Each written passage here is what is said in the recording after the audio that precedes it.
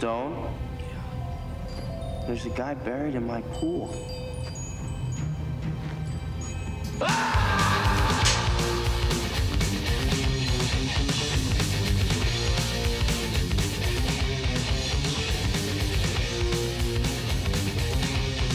Hollywood Pictures and ZM Productions invite you behind the scenes to the making of Encino Man.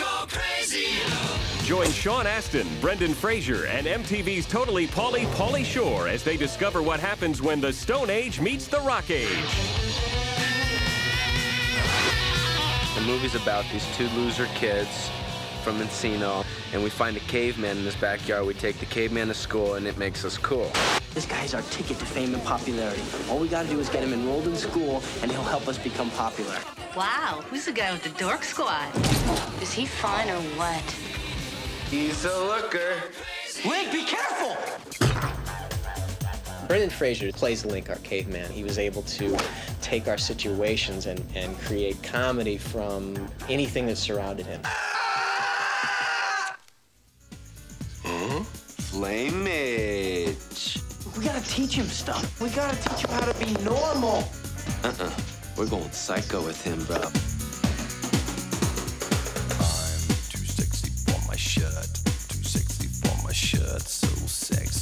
It hurts. And I'm There's nothing he won't put in his mouth. He's uh, he's curious. He plays with things. From salsa to bath beads to, uh, you know, gutter water to, to margarine. He did it all. Oh boy! Dog food! Again! This is George Zaloom. He is the producer. Pauly is really spontaneous, and he comes up with all this kind of like stuff like off the top of his head, you know, out of the middle of nowhere.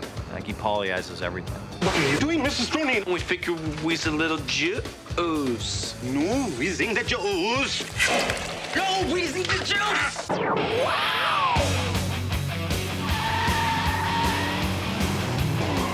You took him to Magic Mountain? Are you crazy?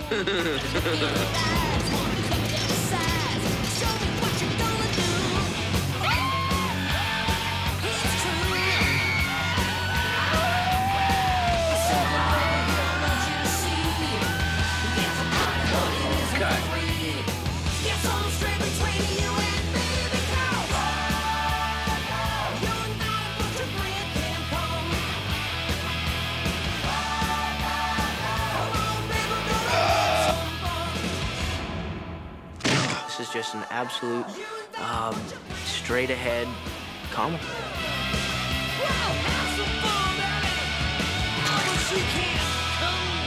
Mr. Link, what do you say to your critics who claim you're not a real caveman? Now that was funny.